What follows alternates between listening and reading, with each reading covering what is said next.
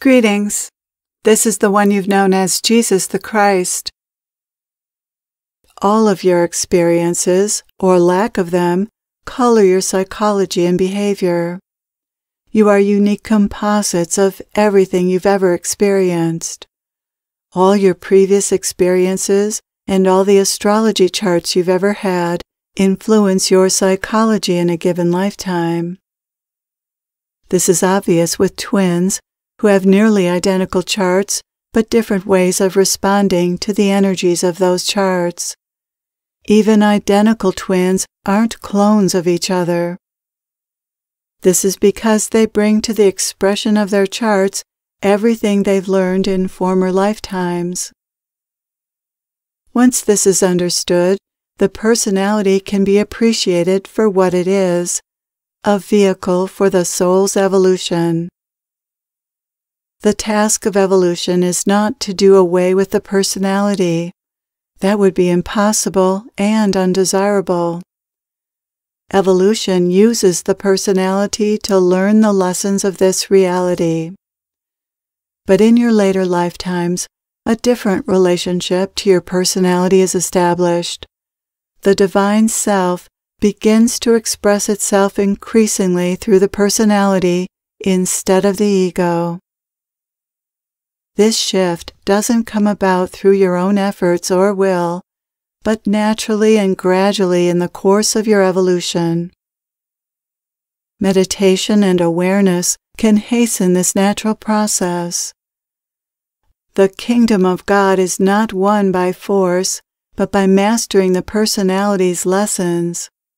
You evolve by learning to express your personality positively. Since your personality is the vehicle for your soul's evolution, it's important to understand it and use it for your growth. Once you have a sense of your personality and its traits, as described in your astrology chart, then ask yourself why these traits are part of your life now. A trait is part of your personality for one of four reasons. 1. You chose that trait to help you accomplish your life purpose. For example, Aries, which confers independence and courage, might be chosen if your life purpose requires leadership. 2. You chose that trait to balance a destructive pattern established in a former lifetime, possibly due to a trauma. For example, Leo gives courage which could neutralize a fear of something. 3. That trait was developed and ingrained through repetition in past lives. For example, you might be very meticulous even without any Virgo in your astrology chart because meticulousness, a Virgo trait, was practiced or required in many of your lifetimes. 4. You're learning the lessons that accompany that trait. The 12 signs represent the lessons necessary to the soul's evolution. When the time comes for a certain lesson, you're born under the appropriate sign. For example, if you're born under Aries, you're learning self direction and independence and the lessons that come with that, such as correct use of your energy and will. There comes a time late in your evolution when you've mastered your basic lessons and balanced most of your karma, and all that remains are minor refinements of your lessons. Then it's time to contribute your wisdom and talents to humanity in some form of service.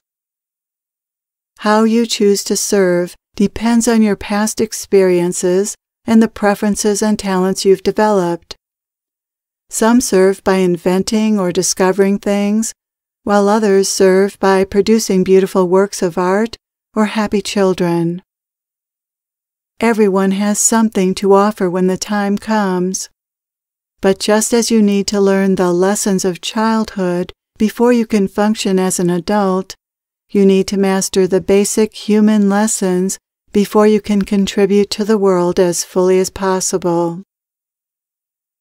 You're here not only to learn your lessons and develop your talents, but to help others do the same. Whether you realize it or not, the universe uses you to bring about other people's lessons. Each of you is deeply interconnected and intimately valuable to each other's soul's plans. Everyone's lessons touch the lives of many, each in a different way. Greta, who was stirred into service by the plight of her paralyzed friend, was touched as much by that lesson of being paralyzed as her friend was. This is why it's so important not to interfere with someone else's soul's plan. Doing so disrupts the entire web of lessons connected to that person.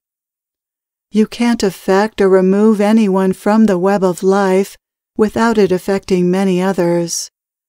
Yet human beings have the power to do this. How different the world would be if people didn't interfere with the soul's plans of others. Life is made more difficult and tragic by having the freedom to harm others. And yet, free will is necessary for evolution. If only everyone knew how to use their will better.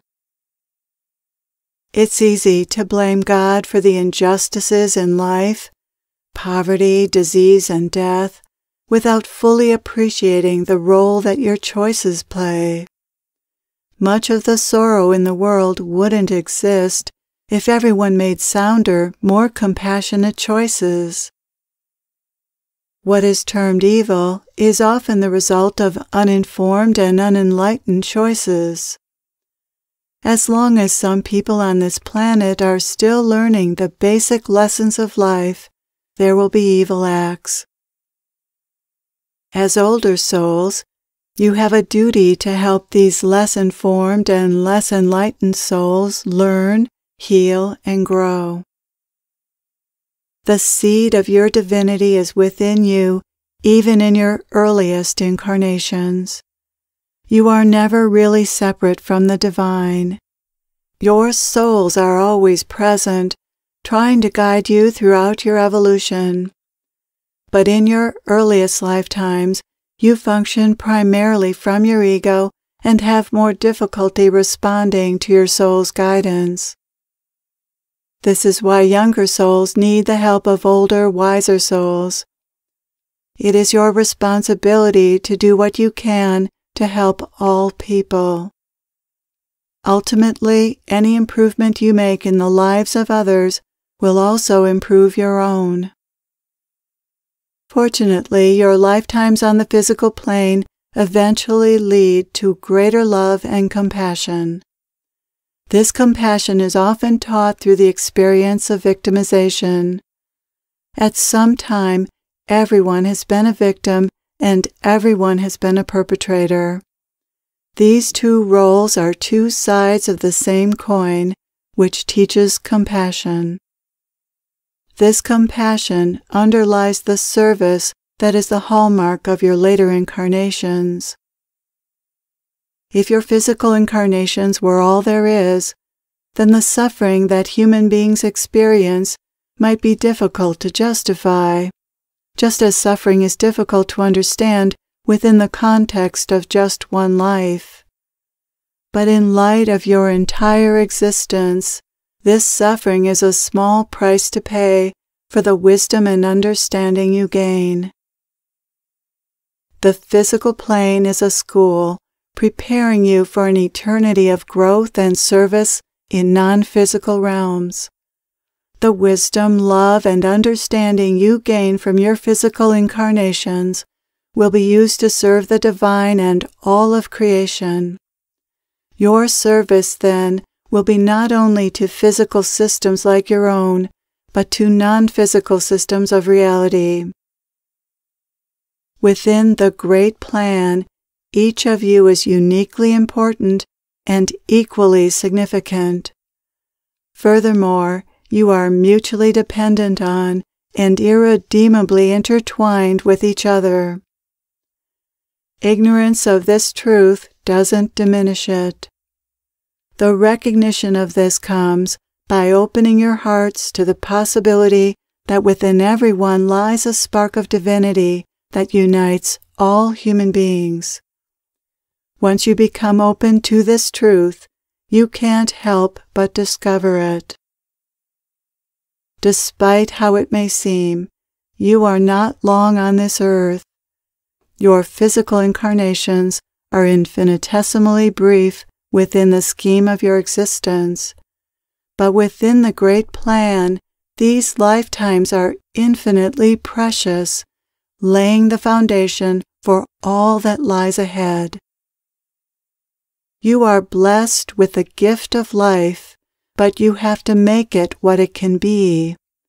You may have no choice about existing or evolving, but you have every choice in how you'll do this. Please carry on with faith in your purpose and determination to act in the highest good of all. Thank you for your attention to this message. I am with you always.